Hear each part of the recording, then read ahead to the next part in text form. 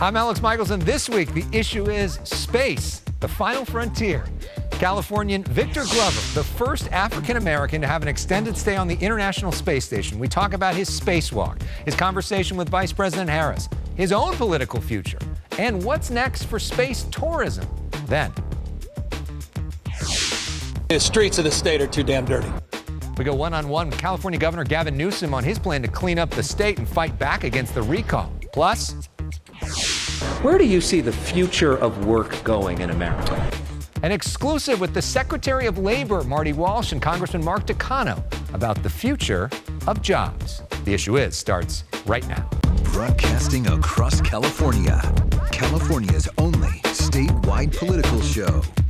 You're watching The Issue Is. He literally flew like an eagle in space for over six months, and now he's reflecting on that journey in his first statewide interview. Welcome to The Issue Is. I'm Elex Michaelson, and this week, a show that takes us literally out of this world. Victor Glover has been back on Earth for two months after six months aboard the International Space Station.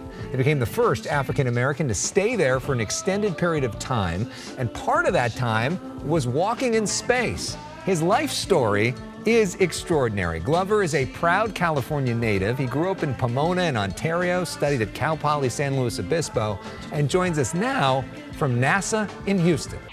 Victor Glover, welcome to The Issue Is. And on behalf of all the people of California, we are so proud of you. Thank you for your service. Elex, thank you. It is great to be here. Thank you very much. All right, so after six months on the International Space Station, you, are now back on Earth, had a little bit of time to adjust.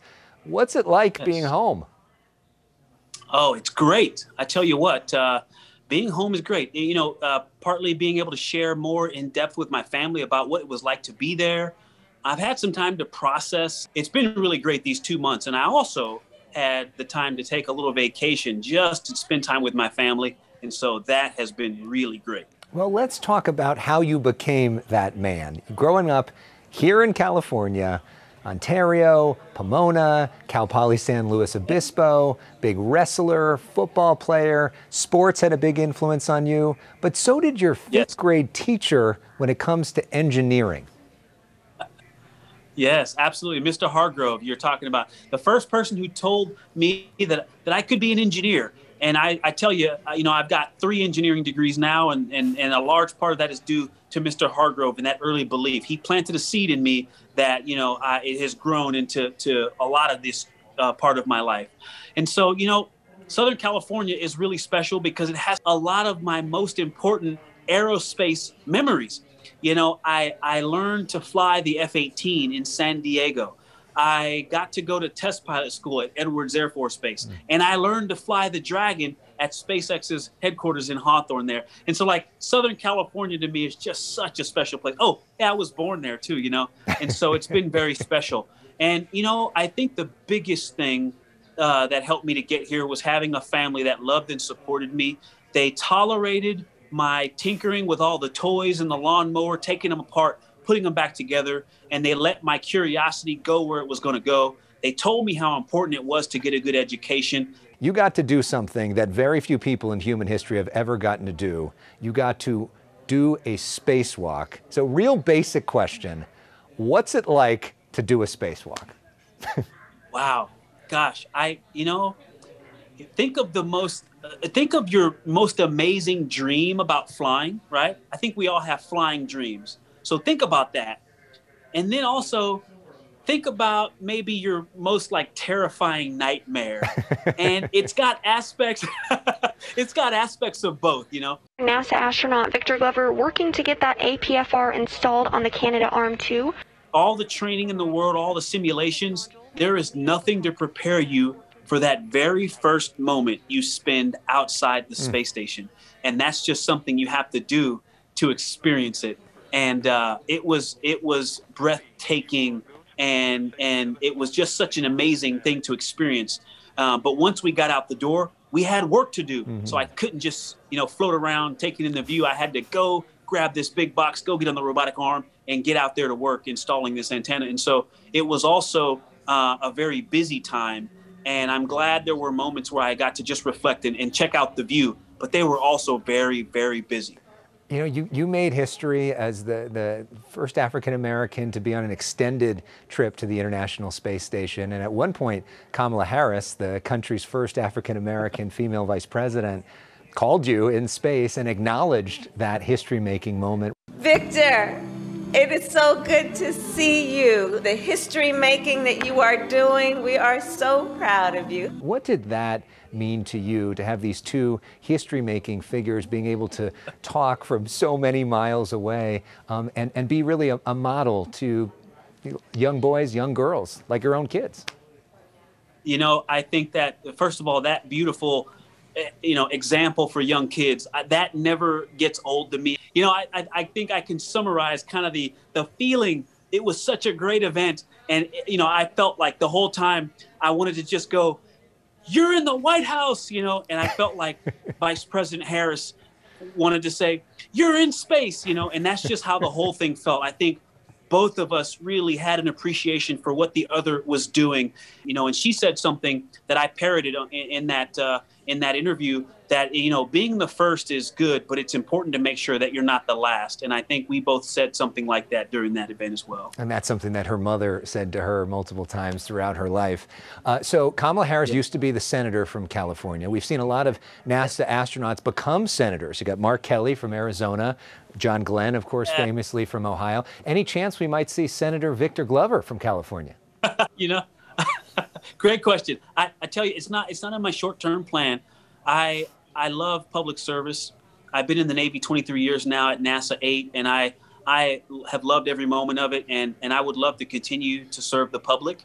And if that becomes the way that that we, my family, and I think we could make do the most good, then I I would consider it. You know, but I would say right now it's not on my in my top uh, list of things to do just because the uh, the folks I've listened to talk about campaigning and what that's like. It sounds pretty grueling, and I you know, if someone wants to appoint me to something, hey, again, I love public service and I'll put my best foot forward, but uh, I would love to avoid the campaigning if I could. In the political world, he just did not say no, which means it's probably a yes. No, just kidding. Uh, I mean, what is the, the long term plans? Is it is it the moon? Is it Mars? Any interest in either of those? Well, I mean, the long term plan, you know, is to watch my kids grow up and and chase their dreams and um, but you know career wise uh, we're starting this Artemis program, and we've got a lot of exciting things coming on the horizon. Uh, and if the future involves another mission, then hey, I'll wait until NASA brings that up. But I'm not chomping at the bit to talk about leaving home again just yet. I'm happy to be right here with my feet on the ground. Another couple other quick questions before we wrap up. We sort of see this battle of the billionaires right now, right? Got Elon Musk, yeah. Richard Branson, Jeff Bezos, all have their own space companies in different ways. Space tourism, uh, going to become a thing within the next year.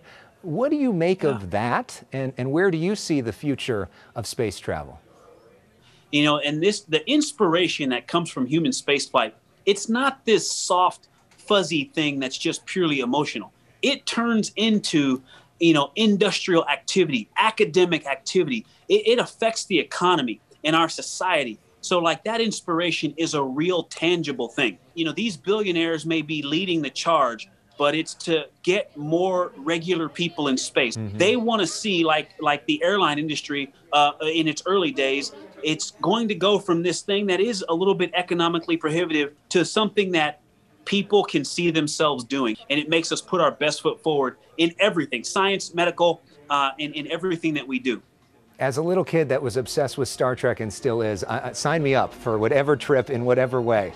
I love the, right, the Final let's Frontier. Let's do it. Uh, quickly, we play a game called Personal Issues on our show. This is where we put 30 seconds up on the clock. We get to know you with some of your pop culture favorites and other things, uh, you know, okay. beyond just the space stuff. So here we go. I don't know how up to date you are and everything after spending six months in space, but here we go. Here we go. Ready? Uh, what's your favorite TV show? I watched uh, The Expanse in space, if that counts. Favorite movie? Okay, a new one. So Tenet. I watched Tenet in space, and Ooh. I really enjoy that. That's a great movie. Uh, favorite athlete? Marcus Allen. Favorite sports team? You know, Team USA. I love the Olympics. I really answer. like the Raiders, but I love the Olympics. Favorite book? Team USA. Favorite book? I read the Bible frequently, probably the one thing I read the most, but I also was really impacted by Richard Hofstadter's Paranoid Style of American Politics. Really, like super impactful. Meal you miss the most in space? Fresh greens, salad, just fresh vegetables in, in general. And have you had In-N-Out yet since you've come back? Not yet. I got to get to a, a plate. We don't have one down here. I know. Isn't I know. that tragic? Yeah, that is tragic. Uh, and who's finally who's your role model? My mother and my father, my stepmother, my grandparents. Like I said, it is not lost on me what what they did, the sacrifices they made to to support me, and so they are all collectively my role models and who I try to emulate. And lastly, what do you want the children of America to learn from your story? Oh, this was not preordained. This was not my fate. I worked really hard and had a lot of people who worked really hard with me and for me, who believed in me, even when I didn't believe in myself. And and, and we together have made this uh, this happen. It's really important to understand the process and not just the end product. Um, to know that the struggle is worth it. It's it's important to work hard, and there's a reason to the working hard. Well, Victor Glover, I think the word hero is overused, um, but you are a genuine American hero, and it is an honor to speak with you. Thank you for inspiring me and inspiring so many of the people of California with your life story and your work, and uh, what a, a great privilege to talk with you. Elex, the pleasure is mine. Thank you for the kind words and the time. Up next, the Secretary of Labor in California to meet with members of Congress and talk about the future of work. But we go to break with Spaceman from The Killers and images of our favorite spaceman, Victor Glover.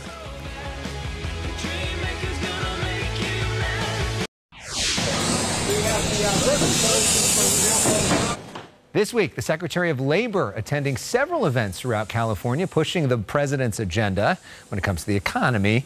Now, before being a cabinet member, Marty Walsh was a longtime mayor of Boston and a labor union leader.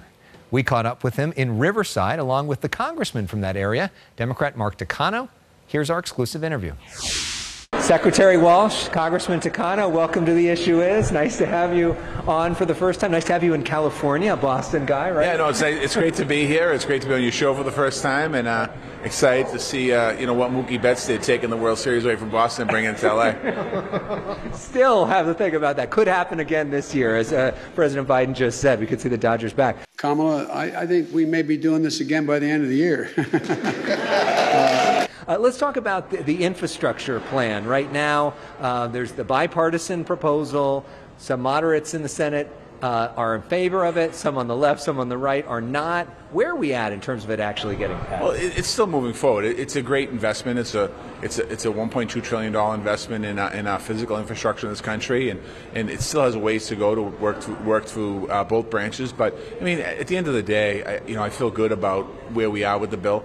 Uh, and, and, I also feel good on the other track with the CARES economy, moving that forward as well. So, uh, you know, the way the art of, of legislating is compromise, and that's what the president did. But he was able to bring a group of senators together, Republicans and Democrats, for the first time in a long time to be able to accomplish something incredible. Are you comfortable that that's going to pass? Uh, I'm very optimistic at yeah. this point. Uh, but the Speaker's made it clear that she wants to see that bill as well as a much more expansive uh, reconciliation uh, bill, which would include more money for the care economy right. uh, involved in it. And, and part of the, that's something that's already passed was the coronavirus relief bill. Uh, we saw the stimulus checks that came with that, but a big thing that's about to start July 15th is the expansion of the child tax credit. Uh, payments being made in advance to people, as much as $3,600 per kid that's making a real impact in places like Riverside. A huge impact. I can't emphasize how big this is for the 41st District. 190,000 children and their families will be beneficiaries of this child tax credit.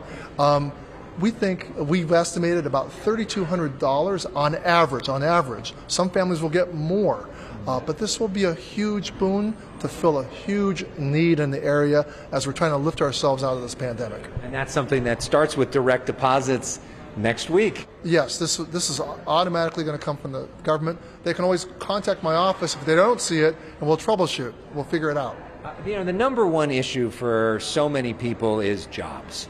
Coming out of the pandemic, job situation here in California looks pretty good, but there are a lot of people that have been left behind. But big picture, long term, where do you see the future of work going in America? It really is about investment in workforce development and apprenticeship programs, uh, job training. When you think about places like California that have uh, emerging technologies, high tech, biotech, uh, just like uh, my home state and other places across the country, there's a real opportunity for us to train young people into those into those skills. And Congressman, you are the uh, chairman of the Veteran Affairs Committee. And when it talks about work, we think about veterans who are struggling. We see some of them homeless on the streets of California. What can be done specifically to help veterans when it comes to employment? Uh, under the American Rescue Plan, uh, we move forward money for rapid retraining of veterans. There's a special fund to rapidly retrain our veterans specifically uh, because of the pandemic. Uh, and there's more we can do. Uh, and uh, but these this is immediately on the horizon. President Biden has requested also uh, 18 billion dollars. I hope to add another three billion dollars on top of that uh, to upgrade our medical health centers for veterans across the country. American people support that by a huge, huge margin. It's one of the most popular parts of the president's package. And, and just lastly, paint a picture for us because we hear about work and automation and computerization and changes that are coming. Where do you see the workforce 10 years from now, 15 years from now? What does work in America look like? Well, I think uh, it's really important that we pass these two infrastructure bills. Uh, because it is laying down a foundation for the future of the workforce in America. And, and I think without them, uh, it's very hard to paint a rosy picture. I think with these two packages, the CARES economy, Build Back Better, the infrastructure bipartisan bill, uh, we really have a, a, great opportunity to continue to lead the world in technology and innovation and create opportunities for everyone to access those jobs. So the future to me looks like uh, elder care uh, and the people who do elder care, the people who do uh, child care, not even, not even talking about early child educators, that they are respected and paid uh, for the great work that they do. Uh, and in the short term, it is one of the things that's holding us back. Even people who can pay full freight for childcare, they can't find slots in childcare centers because they don't exist. We have to build that infrastructure, and that's why it's so necessary uh, to pass the American Families Plan alongside uh, the $1.2 trillion uh, infrastructure bill. And, and, and, just lastly, as a Boston guy, what do you what do you make of California? How's how's this day going? What do you think of our area? I mean, the day's great. I've been to California before, but it's been it's been great today. You know, I'm getting a lot of razzing about the Dodgers uh, today. Uh, no one seems to talk about the uh, the Rams, so I, which is fine. They're not talking about the Rams, but they're talking about the Dodgers. So uh, I just have to take it. Yeah, I have to take it right you now. You got to take him for an In-N-Out burger before he leaves. right, In-N-Out for sure. Congressman Takano, Secretary, thank you so much, you. and go Dodgers. thank you. All right, thank you very much. Still to come, California Governor Gavin Newsom says California is rising after a pandemic, and we now have the funds to clean up the state. His critics say, too little, too late. We talk with both next. The era of corruption is over. Republican Assemblyman Kevin Kiley on ABC in Sacramento this week talking about his decision to run for governor. He's one of the governor's most vocal critics. Challengers must decide by next week in order to qualify for the ballot. As for the governor himself, he's largely ignoring questions about the recall and trying to focus on doing his job, including cleaning up the state. California Governor Gavin Newsom and LA Mayor Eric Garcetti pick up trash near downtown LA.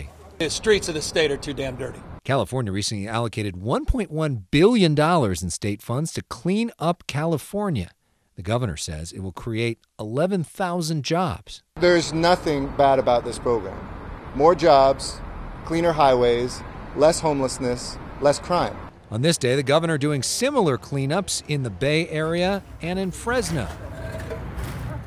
He first pitched the idea back in May when we talked with him exclusively. We're back with him again for this. We mean business. This is not a photo op. This is not a press conference. We were out here a number of months ago. Uh, you're with us. Um, we're coming back, and we're going to come back again and again and again and again. How do you, though, make it last permanently. You got to keep coming back. The governor says California needs to deal with the key underlying issue causing this homelessness. The state recently allocating a record $12 billion on that front. I think the difference between now and in the years past is we have money for an alternative. When you're actually out here and you see it as compared to being in Sacramento in some office and you see what these streets look like, what goes through your mind? I mean, I said this when we were together a few months ago when we initiated this. You see people's stories, their lives. That expression isn't what they left behind. And it may be tragic. It may be needles. Uh, but also maybe diapers. For me, there's no substitute to have an academic briefing in Sacramento in your desk versus actually going out. And I've done dozens of these all over the state. We're going to come back over and over and over again until we see measurable results on the streets. When we come back, 75 years ago, Jimmy Carter asked Rosalynn to marry him. All these years later, what's their secret to a lasting marriage?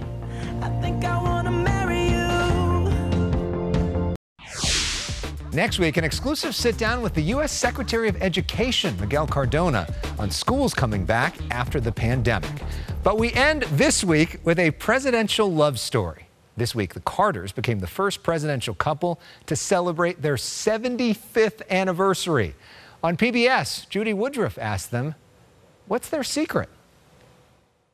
We give each other space and we try to do things together. We're always looking for things we can do together. At the end of the day, we try to become reconciled and overcome all the differences that arose during the day.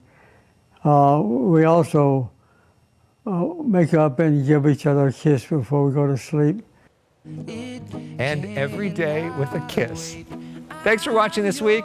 And to the Carters, happy anniversary, lovebirds.